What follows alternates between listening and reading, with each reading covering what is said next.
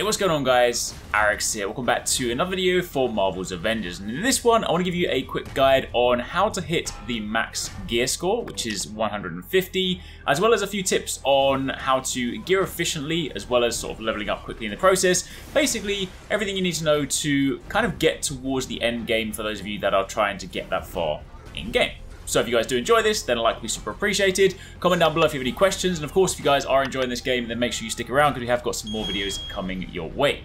Now, of course, the initial question will be, why do I want to get to end game? Because admittedly, right now, the end game content is not in-game. So getting to 150 gear score, getting to max level, short of just doing it because you want to, there isn't really a massive need to do so right now. In the most recent war table, the one that they showed during the launch window, they did of course say that the mega hives and the secret labs are dropping very soon after launch. We don't have an exact date window for that just yet, but mega hives are basically a weekly mission type that uses all your heroes and once one of your heroes falls, the next one taps in, and you basically go down descending floors of difficulty to go as far as you can. Meanwhile, the Secret Labs, they've kind of likened it to a raid. I mean, having seen the footage, it looks more akin to that of, say, a dungeon, but either way, you know, terminology aside, point is, it is also a once a week activity designed for a full team of fully geared players. This is designed for people at the upper gear score caps. And basically, as you progress through, depending on your performance, that will influence how the final boss fight plays out. And uh, basically, it's kind of your endgame pinnacle activity, the reason that you want to be heavily geared. So, you know, that is the thing to look forward to, and if that sounds interesting, then there is of course value in being higher gear score so you can be there. So if you guys want to know about that, then uh, let's jump into it. Of course, if you jump over to your gear screen, you will know that every character, although your items may look different, principally everybody has four main armor slots, so to speak, and you then have two ISO slots for your minor artifacts, and you then have your major artifact as well. Now, in terms of gear, when you look at your pieces, the individual gear score cap on a base piece will be 130. 130 are the highest gear score items that you can get to drop.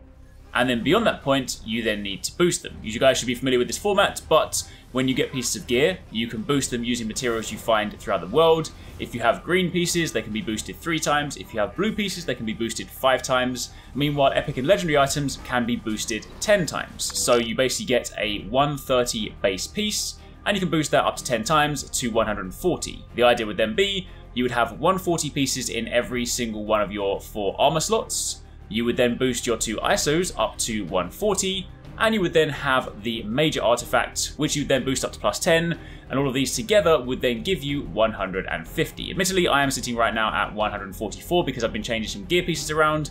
I basically got some pieces that I actually quite like and I do want to level up. And keep in mind, when you get to endgame, it is quite expensive to level up these pieces. They require a lot of pieces, they require a lot of upgrade modules, a lot of just general resources. So uh, yeah, if you decide to swap out a piece, it can be quite an investment to get that up to 140, so I'm kind of working that way back up. But the main thing to note is that if you're trying to get to max gear score, what you want to be doing is you want to be pursuing 130 gear drops, so you can then find the item you want and begin leveling up from there. Now when it comes to actually getting the pieces and grinding the armor pieces, what I would initially recommend is once you complete the campaign, go through the missions that are like these ones here. Things like Stark Realities, the uh, threat sectors, or some of the drop zone ones. Any of these kind of Warzone missions, these ones that are basically repeatable and they have performance-based rewards. The reason I say this is because you can run these on repeat and you can get a drop every single time and those drops will typically coincide with your current gear score. So you can equip pieces, go through, get a piece that is incrementally better,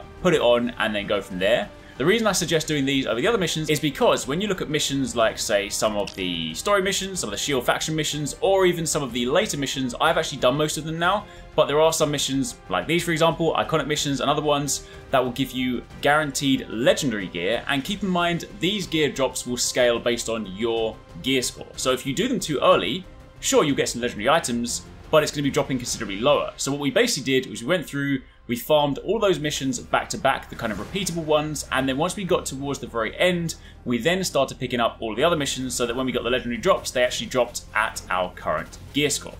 With that being said, a couple of things to note. If you're not in a rush, and admittedly with the endgame content not actually in-game, you're technically speaking not in a rush, then you can actually save yourself a lot of time by not upgrading the pieces that you get, simply equipping the more powerful pieces and then just continually playing and equipping them incrementally that way. By doing this, you're then saving your resources so that when you get towards the end of the game, you can actually spend those items and you haven't wasted a lot of them. However, if you are trying to be more efficient, you're trying to do it at least quicker, shall I say, then you want to be getting pieces, upgrading them as far as you can, so that then boosts your gear score even further, so the next time you get drops, they drop even higher. Either way, the point is, farm those repeatable missions, get your gear drops, and keep climbing that way.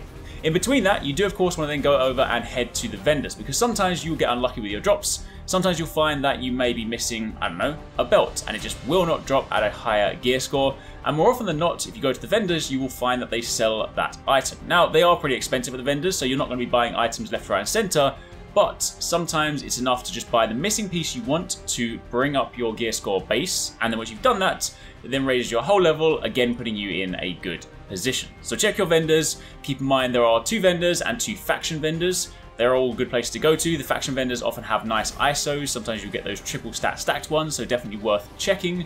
But doing that all together, a combination of repeatable missions, visiting your vendors and upgrading your gear is ultimately how you'll get to your gear score cap. I'm now in a position where whenever I'm farming missions, things are all dropping at 130. So basically, I'm now at the point whereby anytime things drop, I'm just looking for stats that I like, so I can decide what items I ultimately want to upgrade.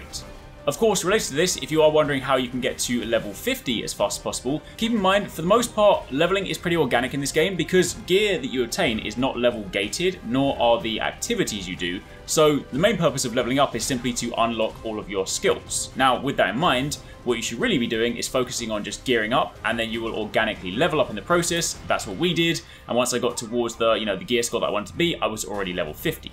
That being said, if you're trying to level a new character, what you can do is go over to the helicarrier, and to begin with, I would jump into Harm Room Challenge 1, and you can change the difficulty down to Challenge 1 because it is not going to impact your XP for the purposes of leveling up. You can do this on the easiest difficulty, and run that back to back. Doing the Harm Challenge 1 will typically give you 1 to 2 levels per run, and you can do that for quite a while. Do keep in mind that as you get higher geared, as you get better, then the enemies that you fight, like specifically, will give you more XP. So as you get more proficient, as you get better geared, then you can jump all the way over to, say, Harm Room Challenge 5, and then run the first couple of rooms, because it's got some pretty tough enemies, and that in itself will give you a big chunk of XP. But if you're picking a character right from the beginning, then just simply jump over to Harm Challenge 1, run that through, run that repeat, and that is a pretty fast way to level. But again, honestly, I don't feel like you need to just level in isolation. I think you should just focus on gearing and then level at the same time. The only final tip, and this is one thing that I personally didn't get a chance to experience throughout the game, but there are sometimes ISOs that will drop, or gear pieces that will drop